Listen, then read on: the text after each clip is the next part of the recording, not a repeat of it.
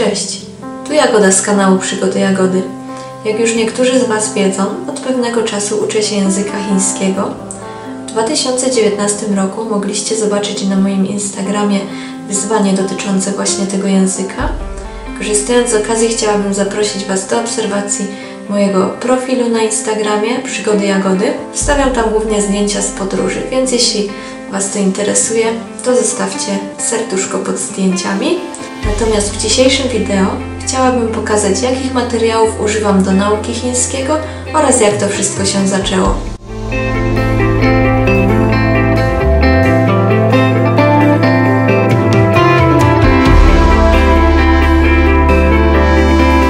Języki obce były zawsze moją pasją. W sumie to język niemiecki, czego nikt nie mógł zrozumieć. Angielskiego nauczyłam się trochę e, przy okazji, no ale znając dwa języki obce, zaczęłam szukać informacji e, o poliglotach. Poliglota to dosłownie z greckiego wielojęzyczny, czyli osoba, która mówi wieloma językami. To było dla mnie trochę jak objawienie. Kiedyś myślałam, że jak ktoś zna pięć języków, to normalnie ma już komputer zamiast mózgu chyba. No ale odkrywając filmy z innymi poliglotami, zobaczyłam, że są osoby, które mówią dziesięcioma językami, dwudziestoma, nawet trzydziestoma językami. I jest to możliwe. Widziałam też kilkuletnie dzieci, które mówią już pięcioma językami. To było dla mnie coś niesamowitego. I wtedy pomyślałam, że ja też chcę taka być. I tak to się zaczęło.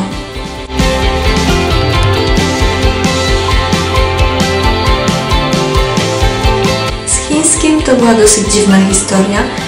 Na początku chciałam uczyć się jakiegoś łatwiejszego języka, przykład włoskiego czy hiszpańskiego. Zdarzyło się jednak coś, co zmieniło moją decyzję, a mianowicie mój brat wziął ślub z Chinką. Mogliście ją zobaczyć w filmie z Anglii. Link będzie tutaj w karcie. Wtedy postanowiłam, że chiński chyba bardziej mi się przyda. To był błąd. Jeśli chcecie z kimś porozmawiać po chińsku, lećcie do Chin. Jeśli chiński jest uważany za jeden z języków, którym posługuje się największa liczba osób na świecie, to tylko dlatego, że tyle osób mieszka w Chinach. Po prostu. Serio, każda rozmowa, którą przeprowadzicie w Polsce po chińsku, będzie wyglądała mniej więcej tak. Mhm. Ja na przykład uczę się chińskiego. O, serio? Ni hao, ni hao, ni zimyang, wo cui jin yu dian ma, ni ne?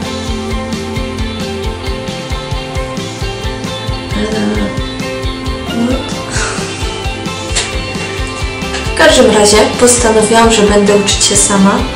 To też był błąd. Na początku używałam aplikacji Chinese Skill. Taka aplikacja e, z Pandą, gdzie mamy właśnie różne tematy też do wyboru. Możemy po kilku tematach robić sobie zawsze test. E, różne gry, które ułatwiają nam zapamiętywanie nowych słówek czy pisanie znaków, e, jakieś quizy. Później mamy też podzielone to na poszczególne rozdziały, które możemy sobie dopasowywać do swojego poziomu nauczania. No ale po nauce z tą aplikacją nie było widać aż tak dużych efektów.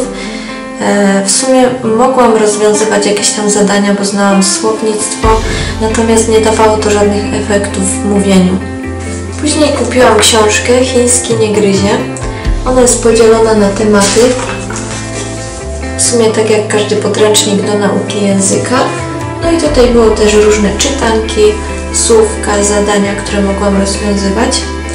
Do tego umówiłam się właśnie z moją bratową na Skype'ie. Umawiałyśmy się raz w tygodniu na godzinę zajęć. Ona miała książkę e, taką samą jak ja, tylko że do polskiego.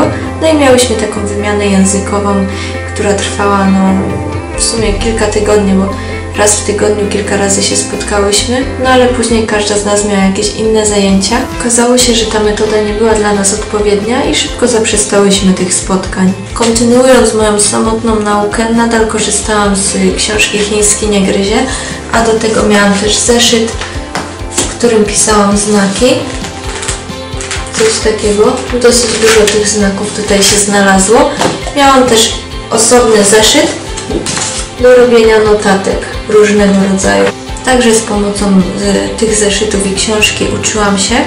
Natomiast później też znalazłam inne materiały w internecie, na przykład jakieś strony, które zawierały dużo ćwiczeń, albo też filmy na YouTubie, których używałam trochę, żeby się osłuchać z tym językiem. A jak sytuacja wygląda obecnie? Od pół roku mniej więcej mam zajęcia z korepetytorką. Na takich zajęciach dostaję e, różne materiały, których używamy. Są to zazwyczaj rozdziały z podręcznika, ale też jakieś dodatkowe zadania, które sobie później rozwiązuję sama w domu albo też na zajęciach z nauczycielką. Prowadzimy różnego rodzaju dialogi. E, Fajnie, że też ona mi wysyła później jakieś zadania, żebym mogła sobie w domu coś poćwiczyć, także tutaj jestem akurat bardzo zadowolona. Chodząc na takie lekcje, myślę, że możemy na tym więcej skorzystać niż ucząc się samemu bez jakiegokolwiek planu. Dodatkowe materiały, z jakich sama uczę się w domu, to dosyć ciekawa książka, która jest poświęcona w pełni tematowi znaków.